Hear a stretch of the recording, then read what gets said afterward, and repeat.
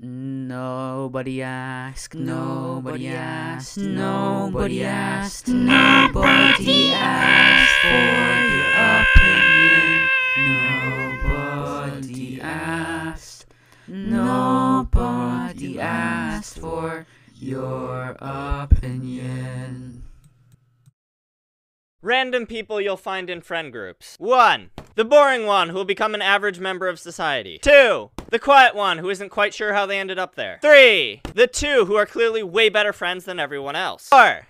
The obnoxious one who does wild and weird things no suburban teen could ever dream of, such as jumping on and licking things. 5. The 50-50 friend who will either be the life of the party or say something extremely cringy. 6. The funny one someone should probably check up on. And 7. F***ing Dylan.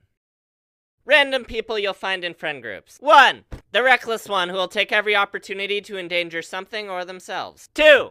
The clumsy one, same as reckless, just unintentionally. 3. The smart one, mocked for their intelligence until it becomes relevant to an activity. 4. The floater who drops in and out of friend groups like an estranged lover. 5. The recluse who you can physically see dying the longer they're around. 6. The naive who will laugh along at jokes they have no chance of understanding. And 7. A generic man whose name starts with J or somebody who embodies the name Emily. Random people you'll find in friend groups. 1. The mama bear, who's very judgmental of all the bad decisions the rest of the group makes, but is still very protective of her dumb friends. 2. The Disney princess companion, who accompanies the popular one of the group in order to make exclusively sassy comments. 3.